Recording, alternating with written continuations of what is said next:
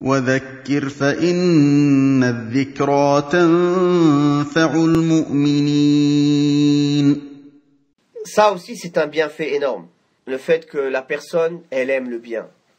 Que sa poitrine, elle soit élargie, elle accepte les lois d'Allah. Al-qada al-shar'i.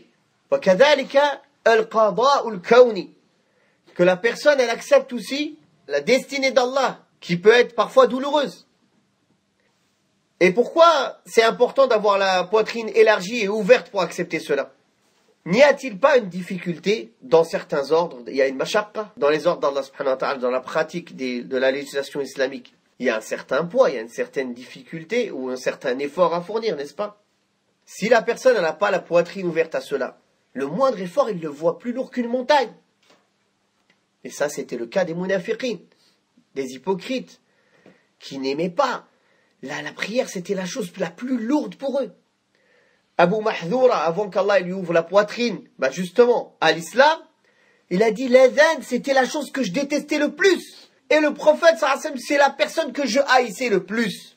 Mais quand Allah Ta'ala lui a ouvert, la poitrine, alors il a dit, après cela, l'adhan, c'était la chose que j'aimais le plus.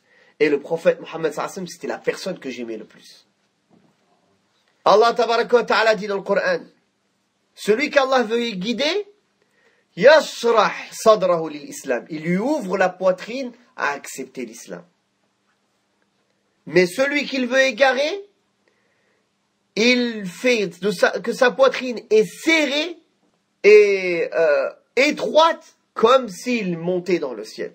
Quand une personne, elle monte, qu'est-ce qu'il a? Il a du mal à respirer. Sa poitrine, elle est serrée, n'est-ce pas? Ouvrir la poitrine à l'acceptation de la vérité, à l'acceptation des lois d'Allah, au jugement d'Allah religieux, c'est un grand bienfait. Et aussi, pour accepter aussi la destinée, les difficultés dans la destinée, dans la vie, la majorité des situations qui arrivent. Est-ce que tout ce qui arrive dans la vie c'est des choses qui plaisent à l'être humain, qui lui réjouissent Non.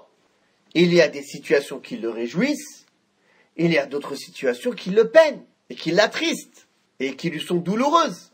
Donc si Allah Ta'ala ne t'ouvre pas la poitrine à accepter la destinée, à patienter et à savoir que tu as une récompense encore plus grande auprès d'Allah Ta'ala, alors cette chose-là, elle te fait du mal. Et ça, c'est le cas du croyant. Allah lui a ouvert la poitrine à accepter et à patienter. Et le prophète sallallahu alayhi wa sallam dans le hadith de Suhaib ibn Sinan, où le messager d'Allah sallallahu alayhi wa sallam dit, le cas du croyant il est étonnant.